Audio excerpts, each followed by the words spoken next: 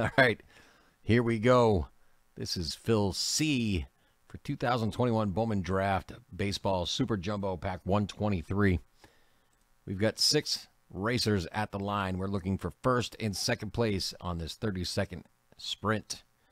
Each of you will be getting a two team spot.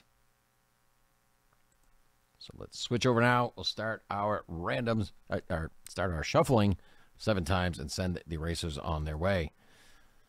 Here we go. One, two, three, four, five, six, and seven. Kerplui, they're off. Matt H with an early jump. But Alden and Justin caught right up on him.